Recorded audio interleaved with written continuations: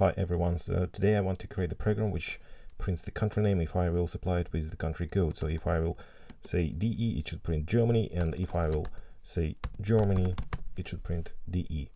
Definitely there should be uh, an existing solution in Python, so let's find it, find Python country code.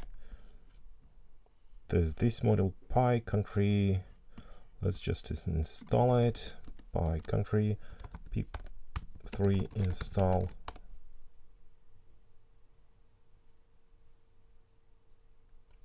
It's there and now let's use it. So how do we use it? Let's see. So so so to get the country name we have to call this function countries.get actually it's uh, a list containing some some some named thing.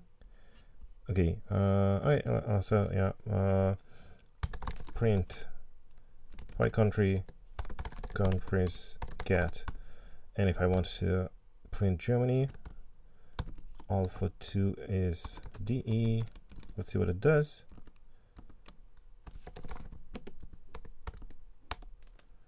it does this. We only need the country name so this name should be taken. Let's just take it. Yes. Okay let's simplify it a bit so so that we don't have to print this one every time. Uh, and then from import countries. Right yes and finally vice versa. If I say Germany I want so Germany's name I want to have DE alpha 2 that's it